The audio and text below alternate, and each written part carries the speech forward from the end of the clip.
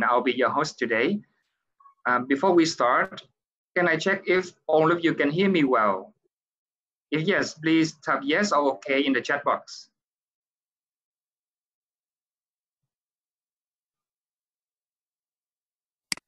Thanks. Uh, so we're on good to start. Okay, um, this free webinar series held by VUS with the participation of ELT, experts and invited speakers from well-known publishing houses, such as uh, Oxford University Press, Macmillan Education, National Geographic Learning, and Cambridge Assessment English. We hope to bring you the most updated and practical teaching methods and techniques so that you can teach your class more effectively, especially during this coronavirus pandemic. So thank you for joining us in today's webinar, Advancing Learning, How Do We Take Our Coursebooks Activities Online, presented by Mr. Derek Spafford from Macmillan Education. Before we start, uh, please be informed that we will have the Q&A session at the end of the webinar. Also, during that time, I will send you the links for you to complete a survey about this webinar and to download your certificate of participation. And now let me introduce you, um, Mr. Derek Spafford from Macmillan Education. Hello, Derek. Hello, can you see and hear me okay? I can see, I can see and hear you well. Okay, lovely. All right, so I'm just going to start by uh, sharing my screen for a moment. Uh, so I'm going to stop sharing our screen. Okay, good morning, everybody. How are you all today? Are you all well?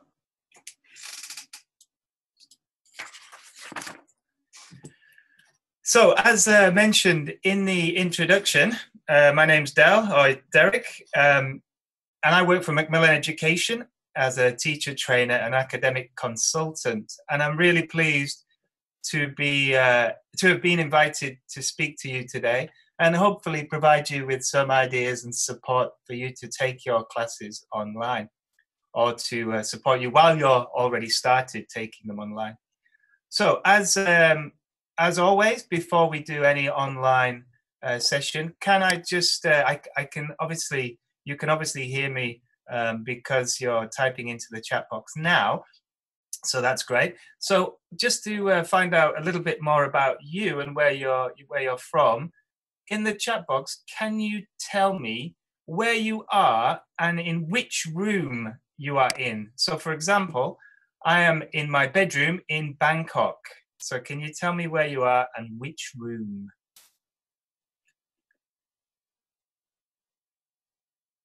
So good, good to see some people in the office. Lots of people at home, lots of bedrooms, living rooms, study room. That's good. Oh, Shanghai, okay. Ho Chi Minh, Ho Chi Minh. All right, lovely. And Danang, oh, welcome from Danang and Dalat. Okay, fantastic.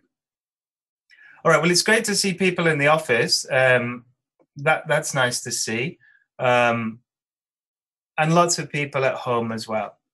All right. So before we begin, I'd like to tell you a little bit about my situation since this uh, since this world event took took place. So I work uh, in Thailand. I'm based in an office in central Bangkok.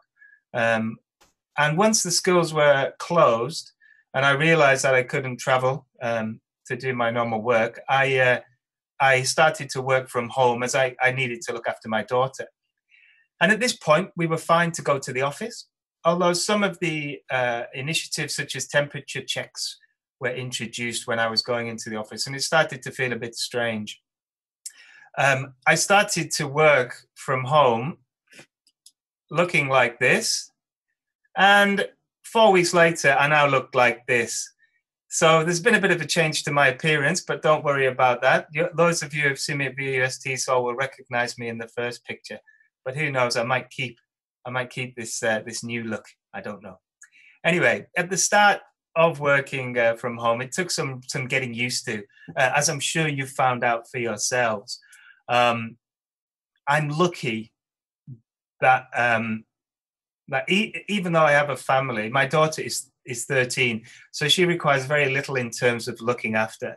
And uh, even at this time now, which is what 10 o'clock, she's still in bed. So uh, there's no there's no worries there in terms of looking after her.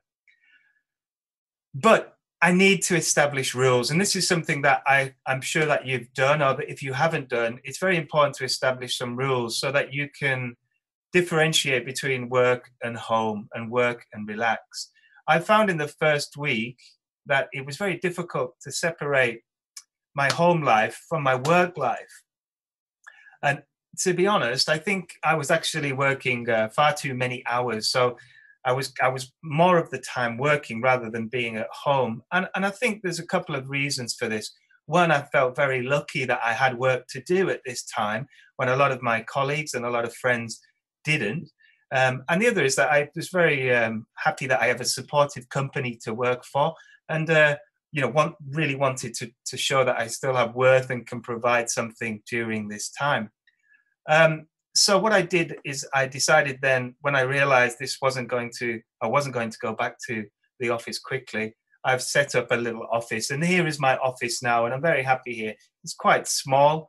Got my books around me. I've got my laptop, my um, my own computer uh, so that I can I can differentiate between work and, and home.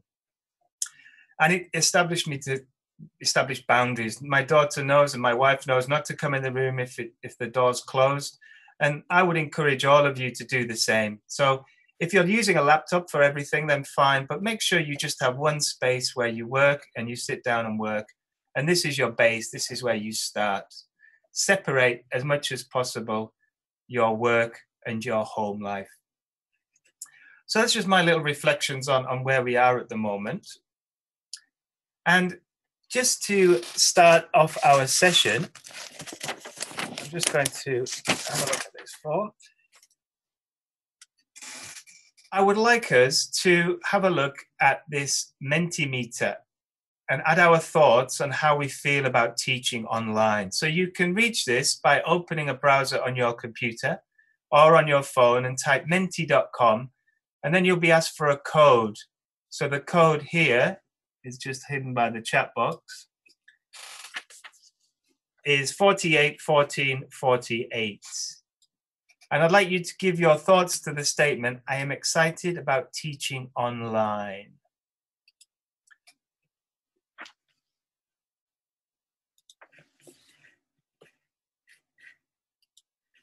Let me pull that up.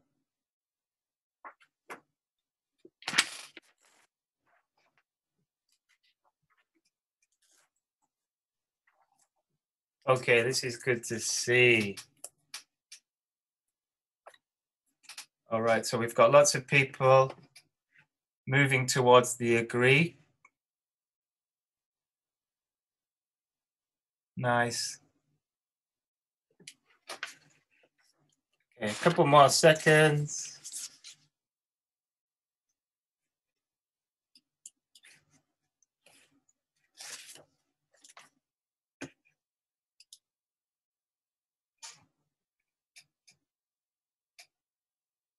Okay, a few more.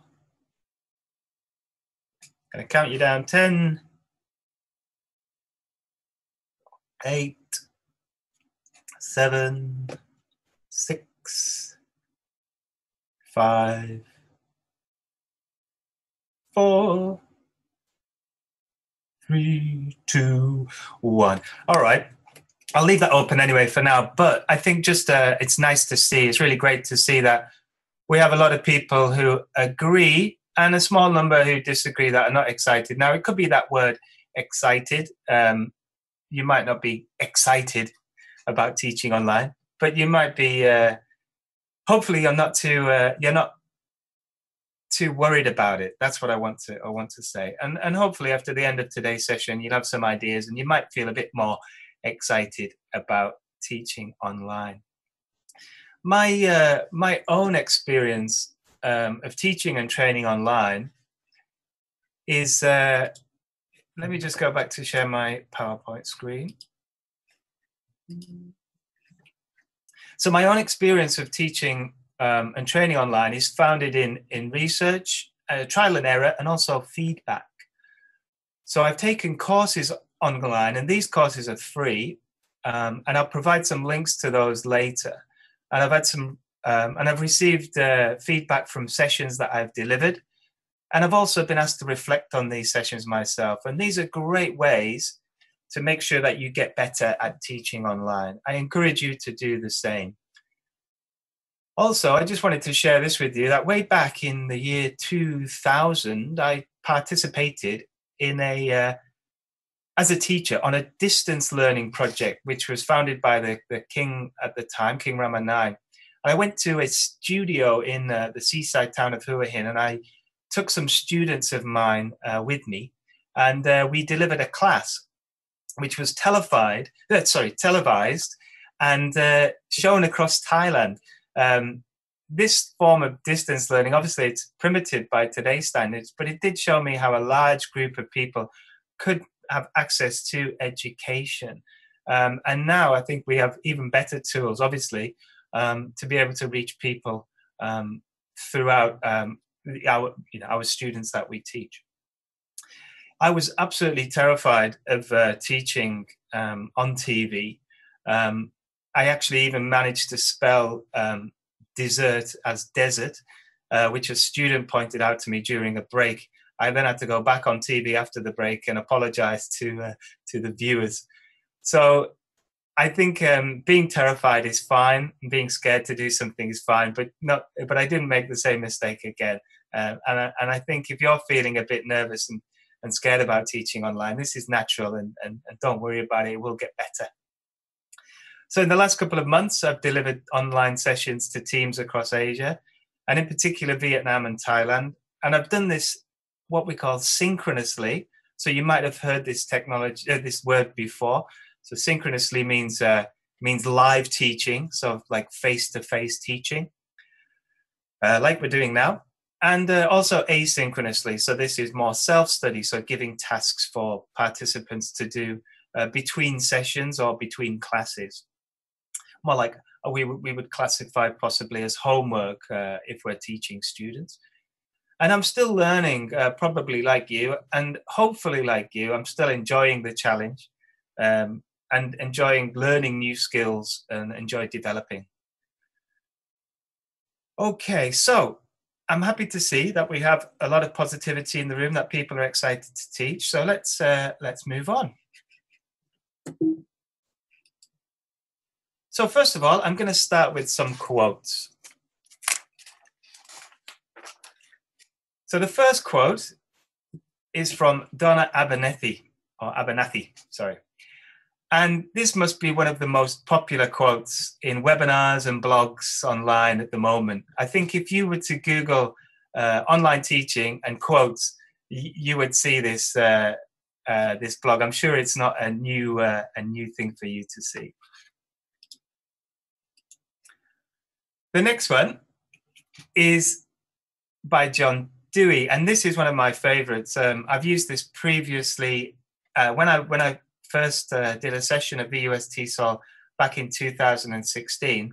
Uh, you would have seen this quote when I was uh, talking about um, 21st century teaching. Now, uh, I don't expect any of you to remember this, of course, if you were there in person. Uh, but what I'm most interested in with these two quotes is actually the um, the dates. So, does anybody know, or does anybody have a guess um, about what the date they think the first quote comes from? When does it when does it come from?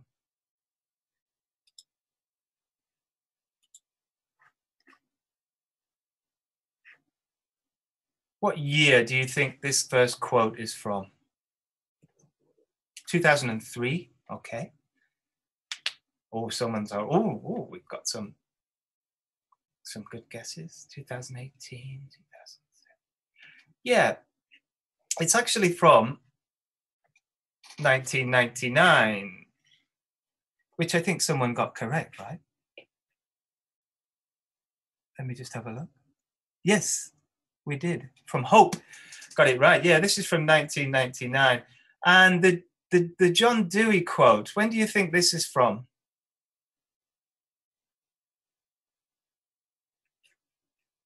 Well done, Hope. Oh, 1890, that's a good one. Well, you actually mm, being going back so so far to 1890, we're looking here at 1952, which was nearly um, 70 years ago. And so, what I want to get from these two quotes is, um, and, and two quotes that I really like, is that online learning isn't isn't new as a concept, and delivering lessons that match the needs of today. And our students now is also not a modern concept. But for most of us in this situation, it is likely new, and it is something that's been very uh, is, is really rushed up on us very quickly and pushed us in a way that possibly we should be going, but like any change, it's very difficult to to navigate, and we might be reluctant to go this way.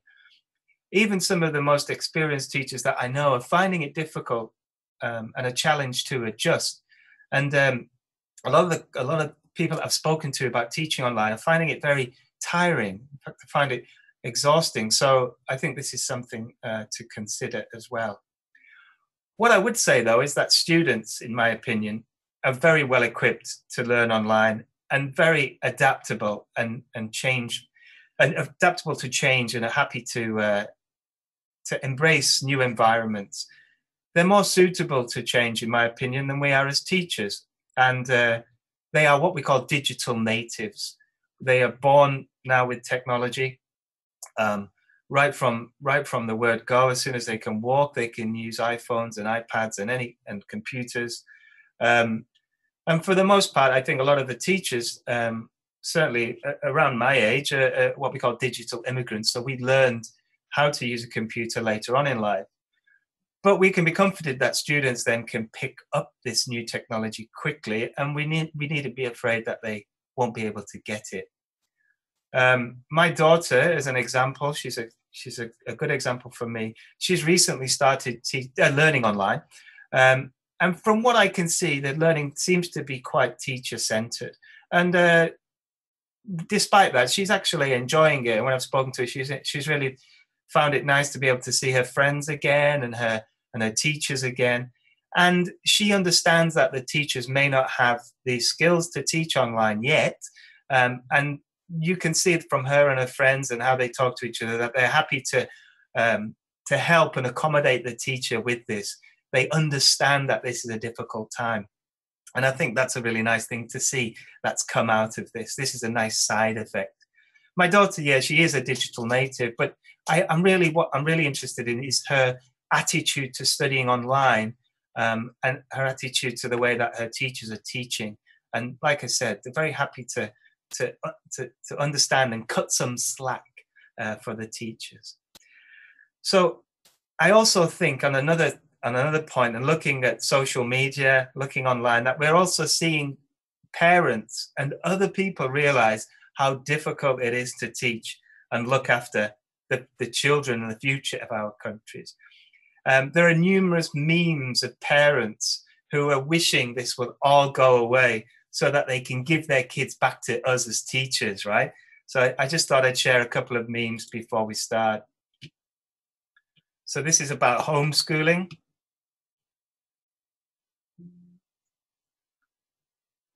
Which I've kind of started doing, and we, we're kind of okay, me and my daughter. I, I have a, a lot of empathy for her. And then we have this other one here, which I think is probably quite true as well. so it, hopefully it won't be too long before our kids can go back to school and they can you can greet them at the gates and the parents are going to be showering with you with gifts and love and understanding um, about how difficult it is to uh, to actually do our jobs okay so just a bit of background information about today we're going to focus on primary for today's session um, however, I would say that these activities that we're going to look at um, can be adapted. So, it, regardless of the level that you are teaching, please don't leave. Um, if you're not a primary level teacher, just think about how you can uh, adapt these activities for your teenagers or even for your adult classes. So what I've tried to do is look at a page of a primary course book and the activities that we see in a course book. Um, this is um, um, well, I will show you the course book in a moment. Um, we will use one or two online tools that are easy to use and free.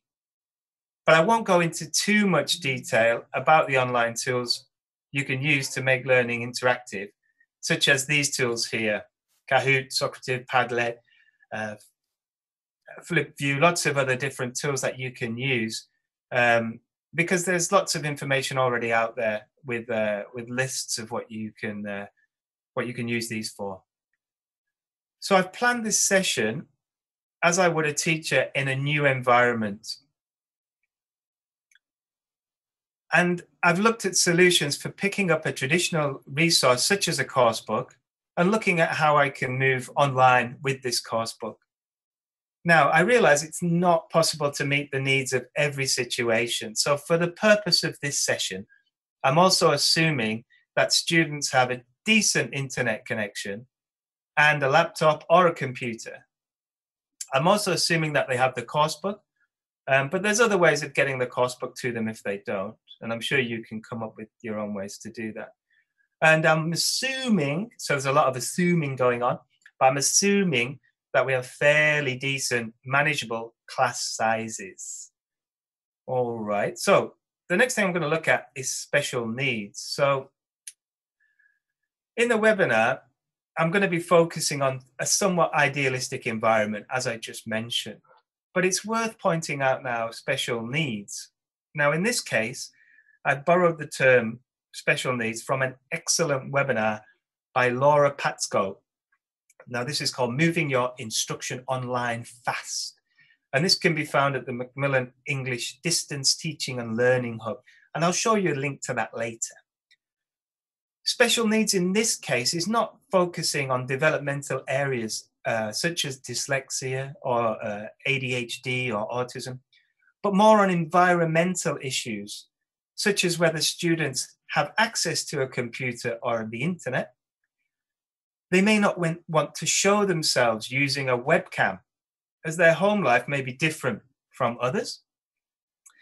Now, School Life tends to standardize this by providing materials that are the same across the board and also making students wear uniforms. So, home life is very different, obviously, from individual to individual. So, just bear this in mind when you're teaching online. What we, what we hope to see is this, but what we might see is this. And I think when I was a kid, I was probably more like the second image. So, with most face to face courses, we would conduct a simple needs analysis before the course starts or in the first lesson. And normally, this is if it's a face to face course, we want to find out what the students like, what their strengths and weaknesses are, uh, what they enjoy studying, this kind of thing. But in this case, we might want to do a needs analysis um, with the parents to find out what kind of situation we have logistically. So that's just a little bit of a, a background into that uh, special needs and what you need to think out, think about logistically. I'm going to also show you an interactive software tool. So this tool is linked to the course book that we're going to be using, which is called Give Me Five. The course book has digital software available, and this is such a powerful tool when we're teaching online. Well, I'm going to show you an example of the Teachers app, which we can use for synchronous live teaching. And if we have time, I'll show you the Students app as well, which the students can use in their own time for asynchronous learning. The software is called Navio, and all the activities are gamified. So this creates a stronger motivation for student success please check to see if your course book that you're using has interactive software. And if it does, make sure you start using it because it will help you so much. And I'll show you just a couple of areas in which this software can help us save time and also present lessons uh, much more effectively. Synchronous, you've heard. So just to recap, synchronous are tasks that are live teaching, just we are just as we are doing now. Uh, students need access to the computer, the microphone, and the and the camera, and you have control over this. And we also have asynchronous tasks. So this is essentially homework, tasks that can be done in their own time, set by the teacher. Um, they can record videos, they can write stories, they can complete activities in their workbook and post them online. But this is up to the teacher and also dependent on the platform that you're using and the time that you and that the students have to do it. Okay, so let's have a look at the course book. So we're using a course book here from Macmillan called Give Me Five. This is a primary course book and it's a level four book. And you'll see we start off with vocabulary and um, the next uh, unit will introduce grammar before moving on to some skills. So what we're going to look at today is this page on vocabulary, and then I'll look at a page uh, of a, a, reading activity uh, to show you how, how we can teach uh, online um, these skills activities. So first of all, let's have a look at the learning outcomes. So these are signposted at the bottom, and the learning outcomes for the lesson identify and say adjectives of character and sing a song about what people are like. So the title is What Are You Like? So the first thing we're going to do is introduce the topic and activate schemata. So activate schemata, we're going to find out what the students already know about the topic area. And we're going to do this as a brainstorm. So how can we brainstorm effectively online? So let's take a look at how we can do this.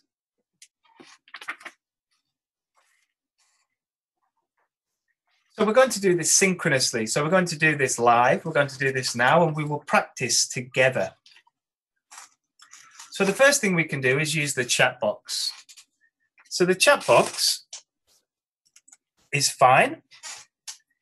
And it's okay, I think, with small groups. Now, we have quite a large group at the moment. We've got 447 participants. So if I was to use the chat box for this activity, it might get a bit messy and difficult for me to manage what people are saying. It also allows stronger students, I think, to dominate and weaker students to just sit back and relax. We want to sort of promote um, interaction. So, in order to do that, there's a better way, and we can use Google Docs. All right, so this is much better because you can put participants into groups easily, and you can use color in order to separate the groups as well to make it even more uh, even more easier to do. It breaks up the task and it requires more input. So let's have a go. I'm going to share a Google Doc with you. But before I do, I'm going to put you into groups. And we're going to do this by birth date. Okay? So if your birth date is from the 1st to the 8th, you are in group 1. If your birth date is from the 9th to the 16th, you're in group 2. Group 3, your birth date is from the 17th to the 24th. And group 4, if your birth date is from the 25th to the 31st. So let's have a quick check. In the chat box, can you type your birth date and the group number that you are in? Your birth date and the group number. All right. I've got a glass. Let me use the glass.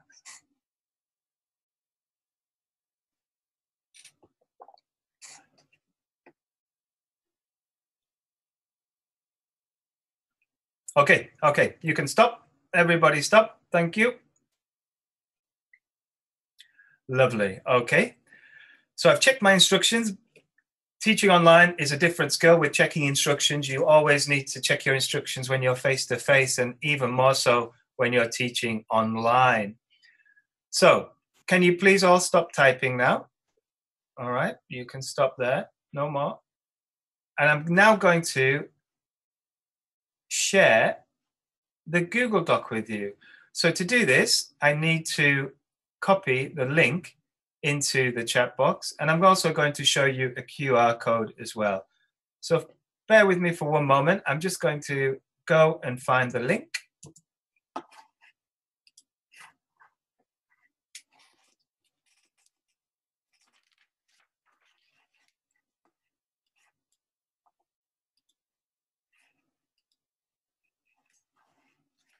Okay, the link is copied to the clipboard. I'm now going to back to the PowerPoint. And I'm going to share the link with you now. Can you click on the link and find and, and go to the document and start to type in the character adjectives to describe different family members. So the instructions are in your groups, think of different family members and adjectives to describe them. For example, my grandmother is kind. So my birthday is the 27th of April. I am in group four. I will write kind in group four. All right, here is the link.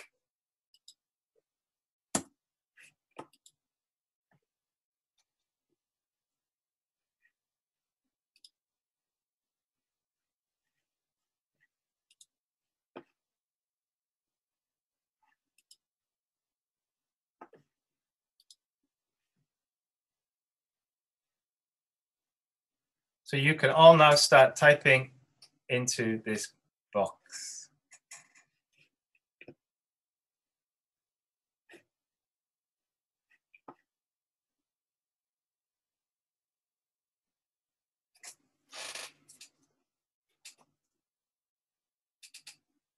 We've got friendly. Ooh.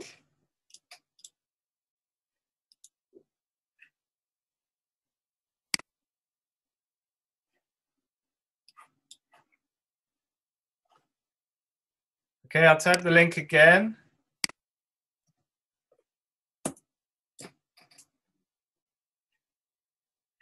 And I'll go back to the QR code.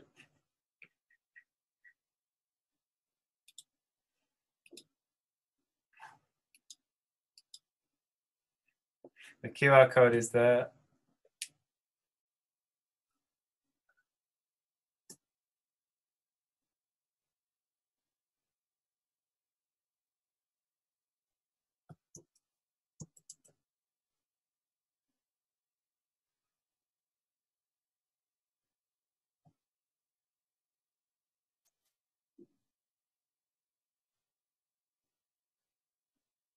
Okay, good. We're starting to get some nice.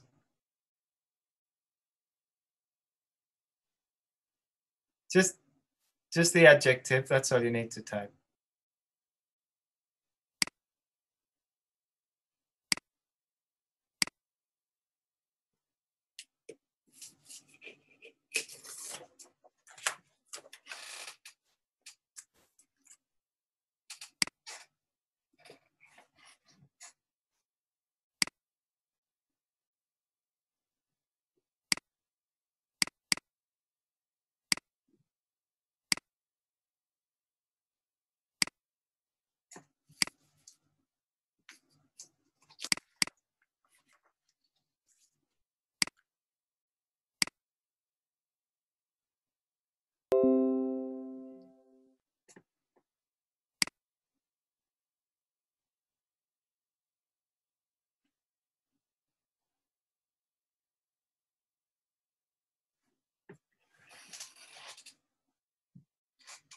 Okay, 10 more seconds.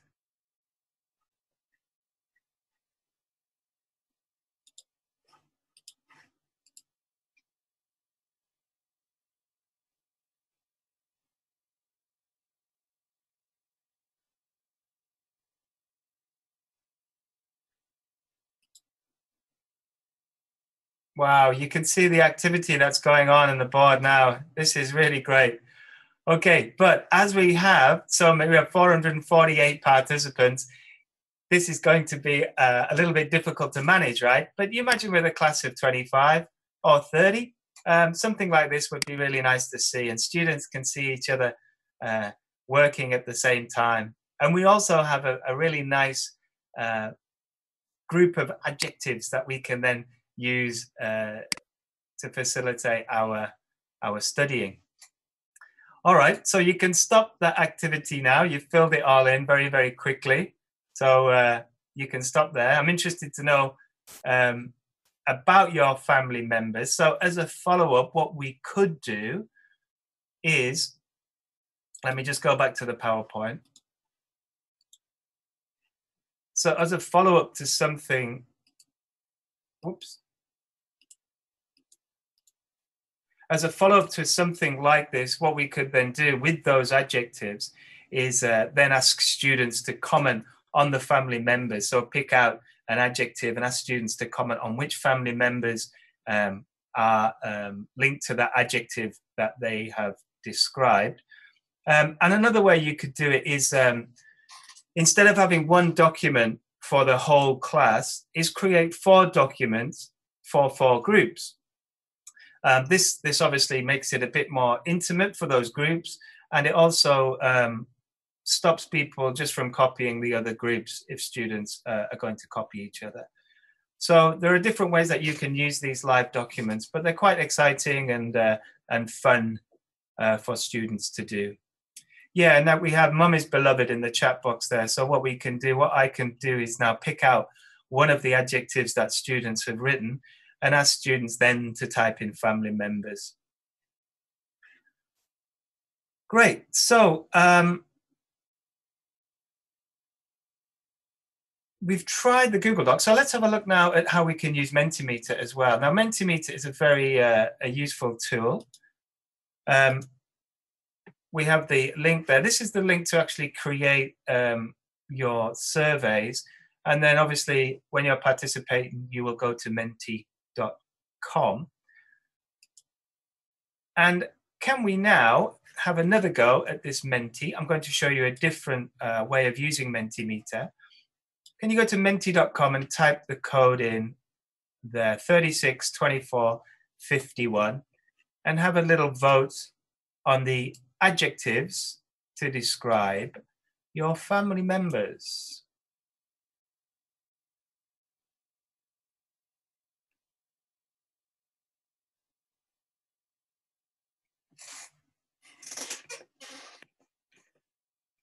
All right, and I'm just going to new share again.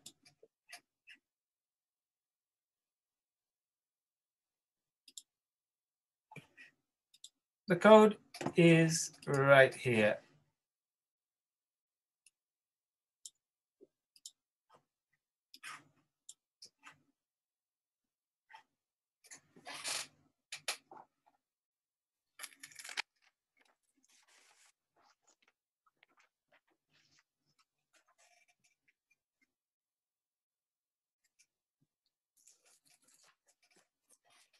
Beautiful. All right.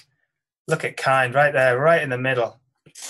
Kindness is a great quality, isn't it?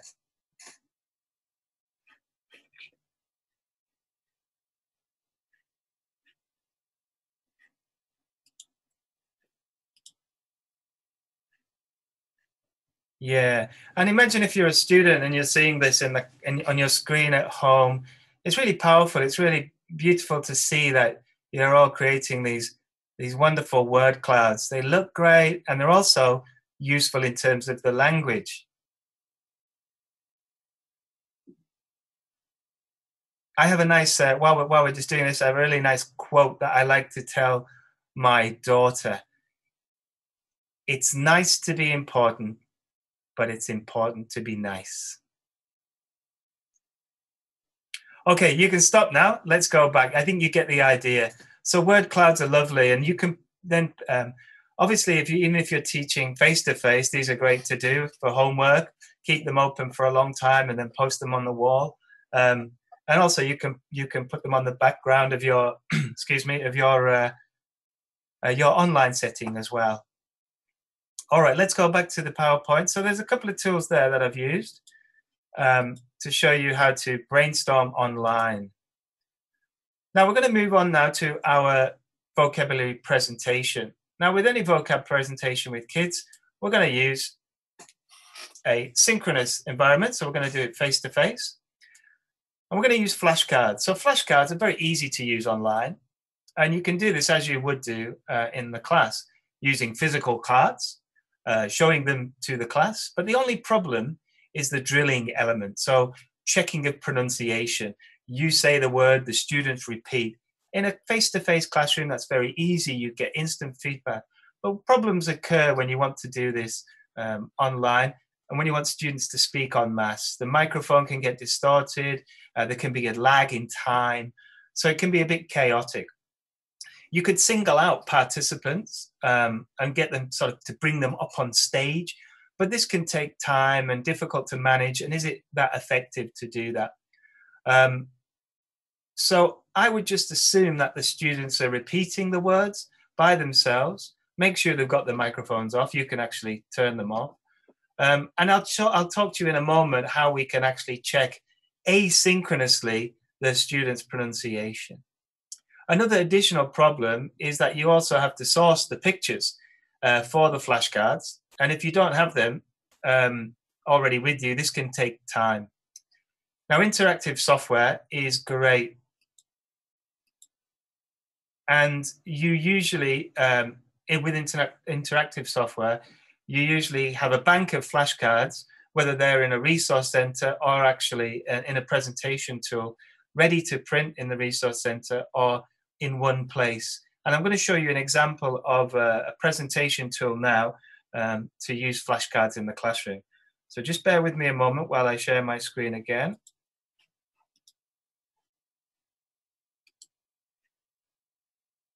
So hopefully you can all see my uh, my my dashboard. This is the for Give Me Five Level 4, and it's a Navio, what we call Navio dashboard. And I'm going to go to Tap and Teach lessons. These are the uh, the lessons that um, obviously I'm, I'm, I'm going to be teaching, and they're faithful to the course book with the activities involved. So we're teaching vocabulary. And you can see here straight away I'm into the uh, flashcards. Now, lesson one vocabulary starting the lesson. Now I'm going to use my filter tool here because you'll see here, these are all the activities that I'm going to do in the course book. But for today, I just want to show you my flashcards. So if I click on flashcards at the top, I get my flashcards. Now the first one starts the lesson. So this will introduce flashcards uh, or, or vocabulary that we've taught in a previous lesson to recap. And today we're going to present this new vocabulary. So here's my presentation. So if I click on this here, I have my flashcards that I'm going to be teaching. Now, this tool is really cool because at the top, I can decide if I want the full flashcard, a single flashcard, and then showing the other flashcards at the bottom, or I can put them into a grid. Now I'll go to full. Now, I also can hide everything. So here is the picture and here is the word. Or I can show the picture and hide the word, or I can show the word and hide the picture. So it's really flexible and it's all in one place. So if I hide all and I click, we can see the image. And now I can get students either to type the word or get them to actually put their hand up and say the word if they, um, if they know the word. I can give them some practice. Tidy. Tidy. And we can flick through our flashcards. Untidy. Confident. Confident. So you can see how this presentation software, this, this tool that's provided by the by the course book is there and it's so effective in, in helping to uh, help your students online. Now, let me go back to my PowerPoint.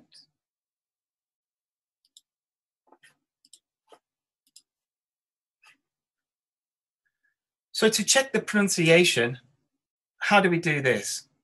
Now we have to check the pronunciation asynchronously. So students need to have the audio so that they can listen first and then record themselves saying the list of words. Um, and then they can send it to the teacher. You will then check and select difficult words that students are having problems with to feedback on at the start of the next lesson. Now, there are a couple of things to remember here. Obviously, you need to have uh, a place to uh, store the recordings. They students need to know where to send them to, and we'll talk about that in a moment. And also, they need to have the ability to be able to record themselves. They also need to have the audio. Um, so you need to think about where you can store the audio for the students. Time is an issue here. Of, of course, if you do this for every set of vocabulary in the course book, you're going to be spending a lot of time listening to students saying words, and this is going to be difficult for you. So you need to be thinking about um, or selecting words. So within the, the 12 words that you're teaching, you can be sure that 10 of, oh, oh, five of those words the students can say perfectly. You have to do some assuming on, on knowing your students and then selecting maybe just six words that they record and send to you to save time. And also, you might not do this for every set of words. You could also, if you have older students, is uh, they might have issues. They may know that they have issues with certain areas of pronunciation, and might be able to take more um, accountability, more responsibility, and find them for themselves and send them to you that way. Now, flashcards, while difficult to use to drill online to check pronunciation, are very useful for checking understanding. So let's look how we can do this on the next page. So we can assume here that we have checked the understanding of our, um, our sorry, that we can that we've checked the pronunciation of our students, um, and that they can say the words uh, effectively and clearly. But we want to make sure that they understand what the words mean. So to do this, we can write the words on the screen and give each word a number. So the students have already seen these flashcards, they've already been introduced to these words, um, and now we're just checking that they understand. So what we can now do is show an image, and in the chat box, the students will write down the number that corresponds to the image that I'm about to show you. So what does the picture show? The words are listed on the left-hand side. Type the correct number into the chat box. So are you ready?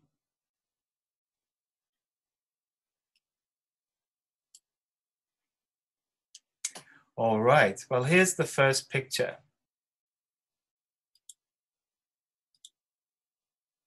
What number does it refer to?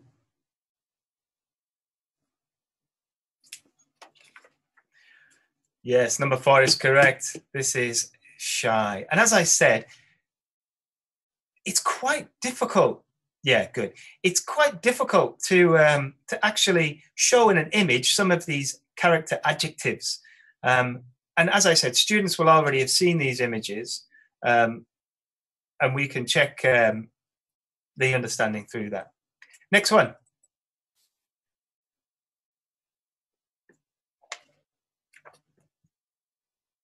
What number?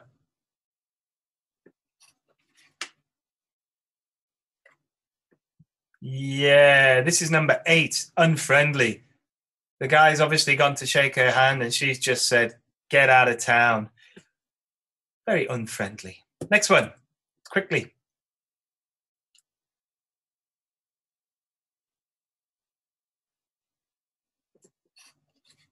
Number nine, quiet, yeah. So you get the idea. So we would show these pictures and students can type into the chat box. So I'm just going to flick through these now. I'm not going to go through all of them because I'm conscious of time. And the same thing you can do by showing the words and this time showing, uh, showing the pictures and this time showing the words. Here we have students will now type into the chat box the corresponding number that goes to the picture. The only thing with these activities, while they're very interactive and they're fun, they can be time consuming to prepare. So just be conscious of that. let me just flick through. Now let's look at the skills of listening. So we're going to look, listen, and sing. Here we're going to look at some asynchronous learning. So any listening or reading activities that are in the book can be done asynchronously. So students need access to the student's book, of course, and the audio files. And I mentioned earlier about coming up with an idea about how you're going to make them available. But they need to think, you need to think carefully about the task beforehand. How are you going to measure the participation? How can we how can we be sure that when we give a task to a student asynchronously that they actually do the task? So here's an example the students will listen and sing at home, and they will get their mum or dad to listen and sing with them. They can record themselves, and then they can either send it to a friend, the class, or the teacher. Now, here it's very important that we that students know what they're expected to do. Now, if we just tell them across the the ether like we're doing now, you can be sure that some students will forget or some won't understand. So you need to create some kind of system or use a LMS, a learning management system like Edmodo, Class Dojo, or the, the school learning management system. You need to set up contact with the parents um, so that they're aware of what students have to do outside of the classroom. Now you can set up simple Google documents to do this, Google Sheets, um, or you can um, you can use the learning management system. But whichever whichever way you do, with teaching primary students, you need to get parental um, support and and make sure that they're fully aware of what's going on, so that everybody can participate. Again, vary the interaction pattern. Don't just send it to a friend. Don't just send it to the class or the teacher. Mix it up. And this is important to you so that they're not just sending everything to you. Um, guidelines are important also for, for child protection and safety. You need to make sure that you have a secure space that people can send uh, their, their work to. Now, the last thing we'll look at is the reading activity and how you can uh, take this online.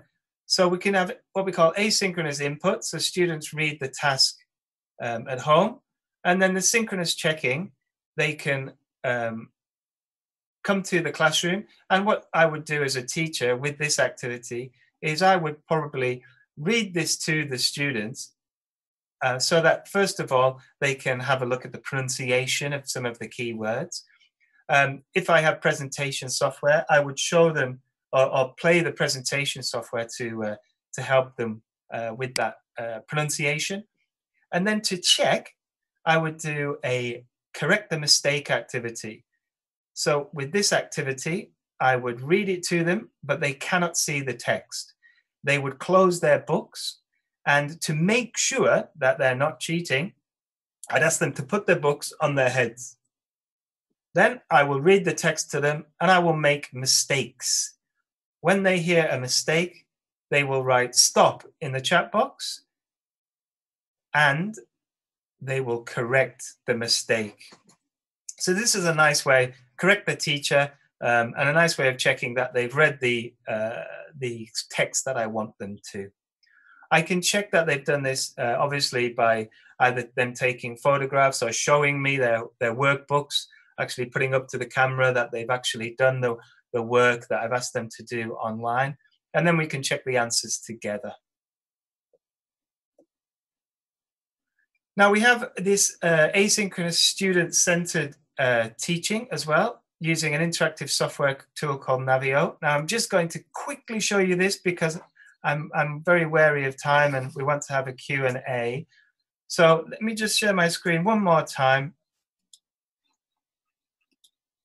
We'll go back to our Navio.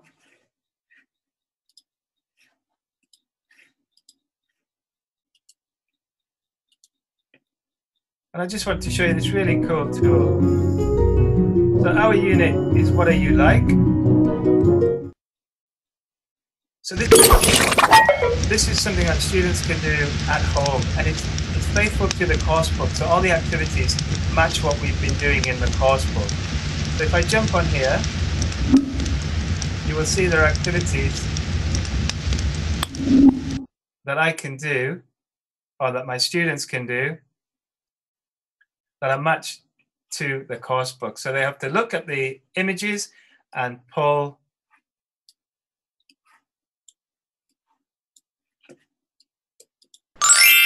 we can check that students have done these these kind of activities. Now, I'm not going to go into too much detail, but just to give you an idea of what they can they can select, close that. They can they select where they go in this world. And oh. jump on and into the stories and do activities as they go through the course book. So you can see it's a really cool, useful tool. And what I want to stress is have a look at your course book. Whatever course book you're using, have a look and make sure that if you have the interactive software, that you're actually using that interactive software because it will save you time and it will save you energy. Okay, now for any other online resources for teaching online, we have some cool links here. We've got the Macmillan English Distance and Teaching Learning Hub, and I've also put together a, a group of links that I've used uh, for webinars and for online resources and for free online courses. If you want any more information from Macmillan in Vietnam, you can contact the email here. And if you would like to contact me, then please don't hesitate. I'm very happy to hear from you. And we'll be sharing these PowerPoints with you. So if you don't catch this right now, don't worry, you can see it later. So thank you so much for your time. Thank you very much for participating. Thank you very much to VUS for organizing this webinar, which I think is a really great initiative.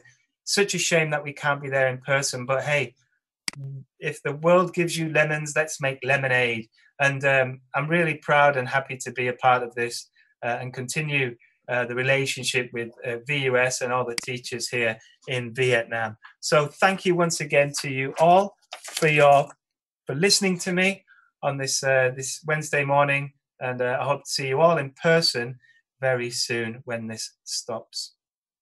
Thanks, Derek. Um, now let's come to the Q&A session. Uh, if you have any questions, you can type in the Q&A box.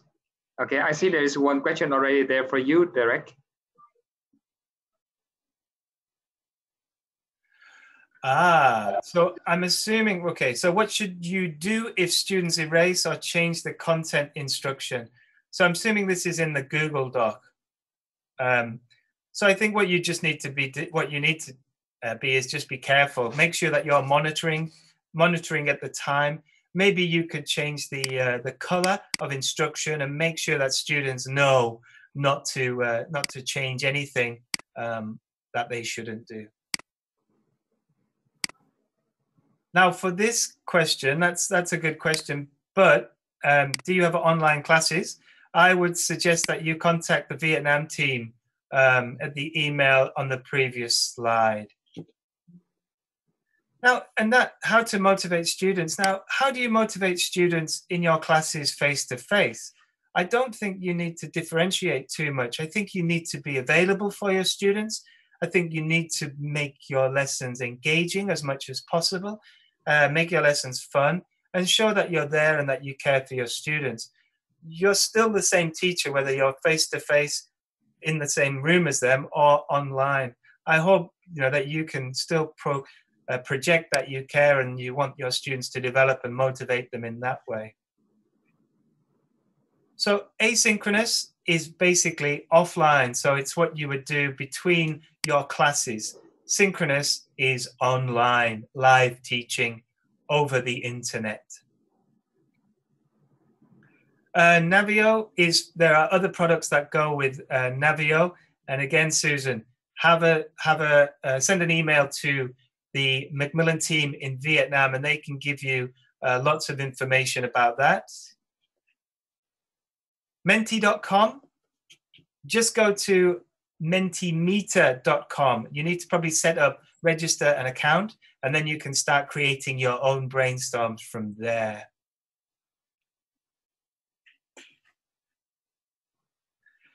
And again, um, I'm probably not going to be able to answer all of these, but um, differentiation in studying online is a good question. Um, and I think it's something that um, we, we need to be careful about, right? You need to be able to monitor your students. So um, if you're if, if you know you, your students already, you can you can have some idea um, of which students are, are, finding it easy to keep up and which aren't. Um, you just need to to create a dialogue. So get in the get in a private chat with your students or with the parents. Initially, you're going to be spending more time, and I think that is why teachers are, are, telling me that they're exhausted because there's a lot more to it than just getting on the camera and teaching. Um, normally, if you have a student that's falling about behind, you can just keep them behind and talk to them and give them some extra work. It's difficult, it's hard to pick that up. I appreciate that. But I would just uh, use the same kind of tools and keep an open dialogue with parents.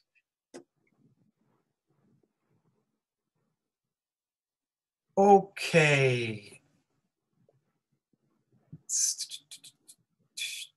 Let me have a look. I'm just scrolling down. There's lots of questions.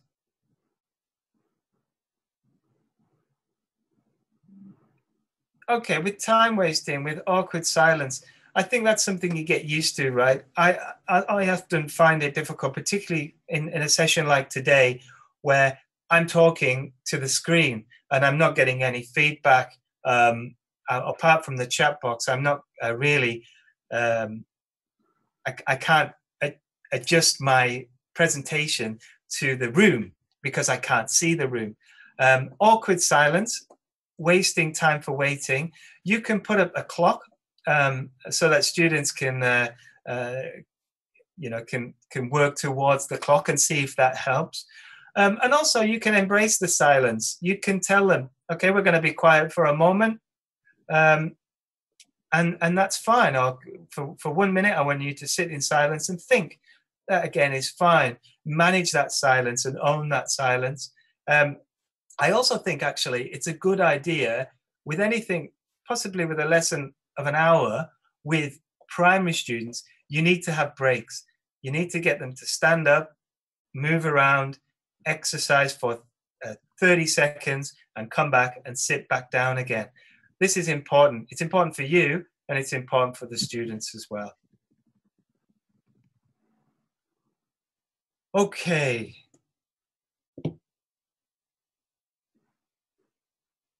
Other activities my my advice with the uh, presentation tools such as the technology stuff the google docs the menti these are great. They enhance your learning.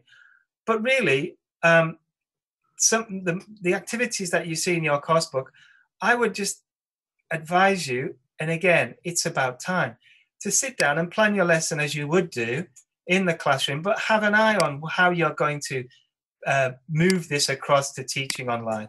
So if you're doing the normal activities that you do in class just keep asking yourself, is this going to work online? If no, then don't do it.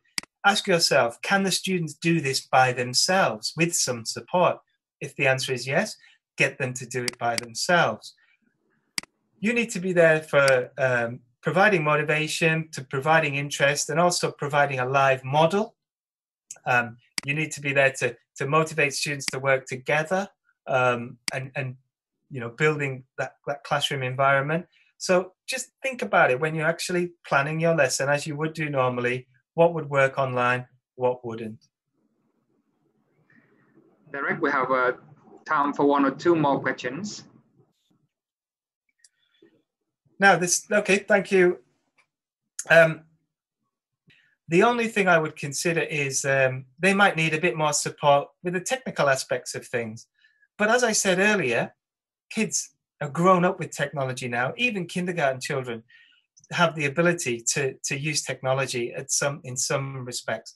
Now, you would want the parents to be there. Obviously, if you're teaching kindergarten, you want the parents to to be there and to um, to be able to manage the child anyway in a room on their own. So they're going to have parental support. If you're teaching say primary one, you probably need a bit of parental support as well. And mums and dads are likely going to be in the room and should be able to help you.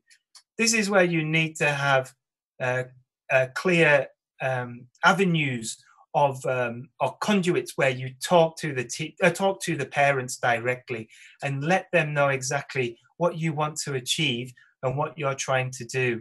You need to, as I said earlier, find out what technology they actually have already and whether they are microphones, whether they have uh, headphones, whether they have webcams, this kind of thing. So you know exactly which students can do which activities. Initially, it takes time, takes energy, but it will help you in the future.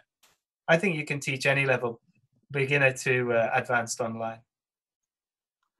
Okay, um, I think we have a lot more questions here, but we don't have enough time to answer all of them. Uh, sorry, guys, but um, we will have, I, I, believe that you guys will find the answer to your questions in our upcoming webinars. We have about like five more to come in the, in the next week and the week after that. Um, so uh, thanks Derek and thanks Ong for joining today. We hope that you enjoy our webinar and uh, will be able to apply the ideas to your teaching practice. Before you finish, uh, please be reminded of the following things. Um, I'm going to share the I'm going to share the links for you to download your uh, certificate and the link to uh, uh, do the, the online survey for our webinar.